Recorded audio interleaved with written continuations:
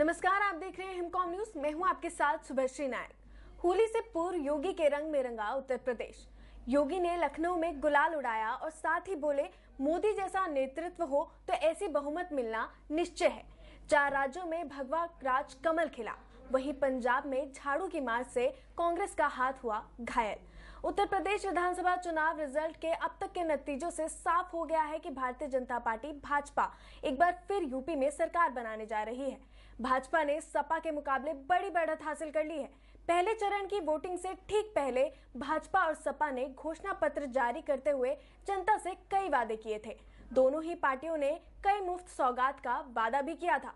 रुझानों में बीजेपी की जीत साफ़ दिखने के बाद आइए हम आपको बताते चलते हैं कि बीजेपी ने अपने घोषणा पत्र में कौन से ऐसे बड़े वादे किए थे जिन्हें अब भाजपा को पूरा करना होगा।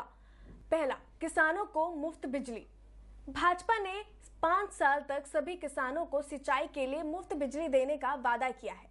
दूसरा, पेंशन में इजाफा। भाजपा ने विधवा और निराश्रित महिलाओं के लिए पेंशन को बढ़ाकर प्रति माह पंद्रह सौ रुपए करने का फैसला किया है। अभी हज़ार रुपए प्रति माह पेंशन मिलती थी। तीसरा, गरीब बेटियों को शादी के लिए सहायता। मुख्यमंत्री कन्या सुमंगला योजना के तहत वित्तीय सहायता को पंद्रह हज़ार से बढ़ाकर पच्चीस हज़ार रूपए किया जाएगा।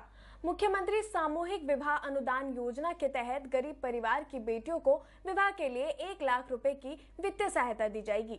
मुफ़्त सिलेंडर, प्रधानमंत्री उज्ज्वला योजना के सभी लाभार्थियों को होली और दीपावली पर मुफ़्त एलपीजी सिलेंडर प्रदान करेंगे। मुफ़्त यात्रा 60 वर्ष से अधिक उम्र की महिलाओं को सार्वजनिक परिवहन में मुफ़्त यात्रा की सुविधा दी जाएगी। अगला है मुफ़्त स्कूटी। भाजपा ने कॉलेज जाने वाली मेधावी छात्राओं को आत्मनिर्भर बनाने के लिए रानी लक्ष्मीबाई योजना के तहत मुफ़्त स्कूटी देने का वादा किया था। अगला है रोज़गार की व्यवस्था। भाजपा ने पाँच सालों में तीन करोड़ से अधिक रोज़गार देने का दावा करते हुए अगले पाँच साल में हर परिवार में कम से कम एक रोज़गार और स्वरोजगार का अवसर प्रदान करेंगे। मुफ़्त कोचिंग। अभुद्य योजना के अंतर्गत UPSC, NDA CDS JE NIIT, TED, CLAT और अन्य प्रतियोगी परीक्षाओं के लिए इच्छुक युवतियों को और युवाओं को मुफ़्त कोचिंग की सुविधा दी जाएगी। स्मार्टफ़ोन और टैबलेट। स्वामी विवेकानंद युवा सशक्तिकरण योजना के तहत दो करोड़ टैबलेट और स्मार्टफ़ोन वितरित किया जाएगा।